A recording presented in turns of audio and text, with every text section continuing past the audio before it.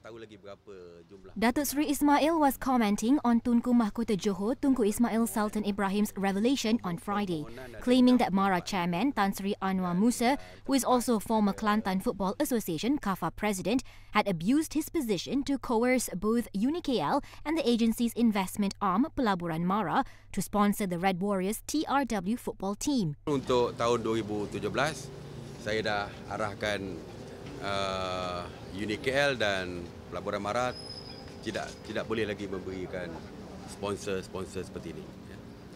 Hanya sponsor yang berkaitan. Kalau di UniKL, hanya untuk uh, berikan sponsor perkara-perkara yang berkaitan dengan education saja.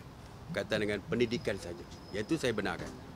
Tapi seperti saya kata, saya pun tak tak dimaklumkan perkara ini daripada dulu. Apa-apa pun saya akan dapatkan laporan dulu.